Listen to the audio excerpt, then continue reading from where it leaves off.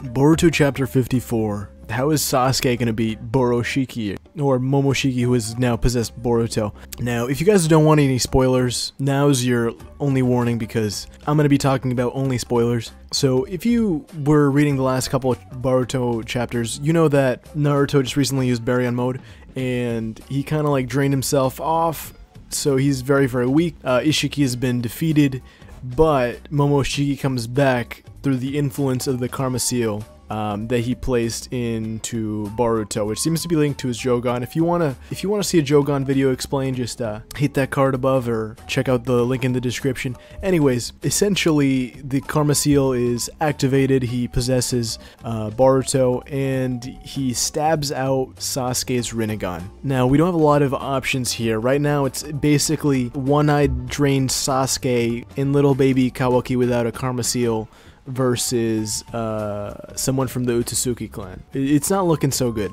I have the feeling that this might not be a full fight in because I have the feeling that this is going to kind of come in waves um, of, of, Momoshiki possessing Boruto. I don't think this is going to be all out, uh, an all out fight. But supposing it is an all out fight between them, let's kind of analyze what what Sasuke's options are because let's be real here he's the main powerhouse. Kawaki is not really doing anything this early on in the series. Now what did it take to beat Momoshiki the first time around?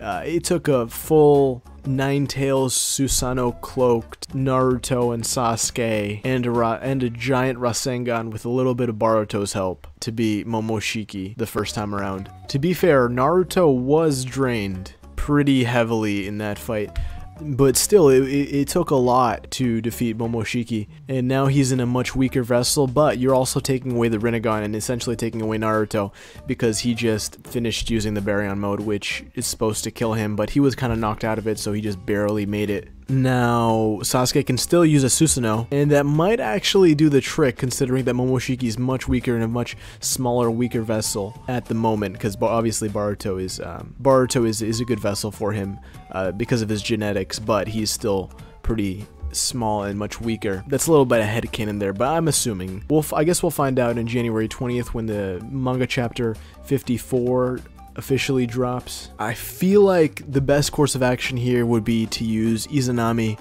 to save his Rinnegan, but he's going to sacrifice his Sharingan in the process. Now, this is a pretty fair trade as the Rinnegan is the successor of the Sharingan, and it gives him access to more OP abilities.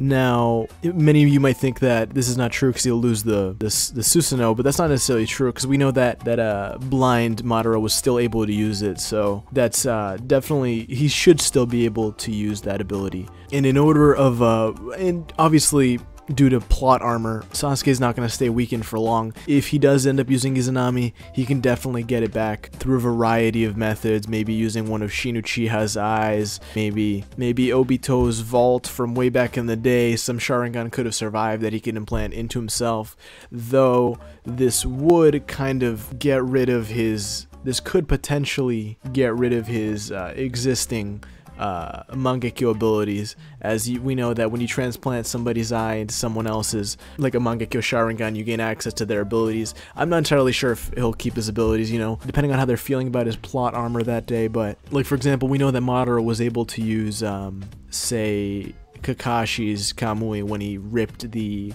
eye right out of him. So I'm not too worried about Sasuke getting his Sharingan back. I just don't I just uh, don't know if he's going to take that route or if they'll just end up just just weakening him and uh, and and use this as an excuse to weaken Bar uh, Naruto and Sasuke because they were just too OP. So now Naruto has lost some chakra and Sasuke loses his Rinnegan, which makes it easier for the Genin to catch up. From a narrative perspective, this might be where they're coming from. I really hope not. I don't want them to just debuff our our favorite characters like that, but we'll, we'll see how it goes. Like I said, I think the best course of action is the Izanami.